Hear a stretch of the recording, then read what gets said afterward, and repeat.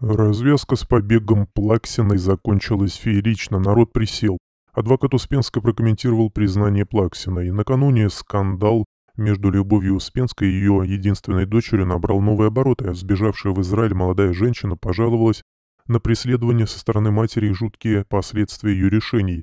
Так 34-летняя наследница королевы русского шансона заявила, что Любовь Залмановна все последнее время чуть ли не силой заставляла ее жить вместе, лишала собственных денег и вынуждала выступать на сцене. А три года назад, когда Успенская определила страдающую от зависимости дочь в реабилитационный центр, там якобы произошло страшное. Татьяну принудил медбрат, и Успенская была в курсе трагедии, утверждает Плаксина. Признание наследницы артистки взбудоражили многих, однако, как теперь заявил адвокат Любови Залмановна Елена Сенина, верить словам молодой женщины не стоит. Ее общение с прессой преследовала вполне определенные цели.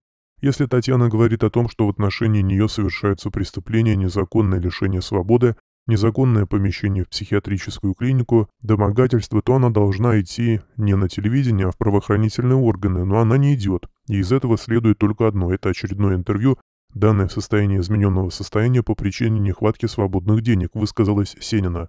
Кроме того, Елена напомнила, что ранее Плаксина уже неоднократно делала громкие заявления, а позже отказывалась от собственных слов. Это все уже выглядит как сюжет притчи о мальчике и волке. Вот еще один такой случай. Это печально, что было с Таней без опеки Любы, нам тоже всем известно, заключила юрист.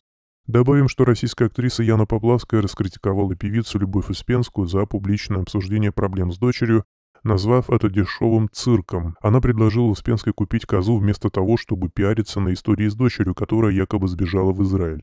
Уж лучше бы Люба Успенская купила козу. К чему этот низкосортный пиар с похищением дочки, которая на самом деле сбежала в Израиль? Хватит этого дешевого цирка, написала Поплавская в своем телеграм-канале. Она пожалела дочь Успенской Татьяну Плаксину, отметив, что из-за семейных скандалов у нее сложились проблемы с общественным мнением. В начале октября стало известно о пропаже Татьяны Плаксиной, которая исчезла, оставив телефон дома. Успенская выразила тревогу по этому поводу, полагая, что Татьяна могла стать жертвой шантажистов после их поездок.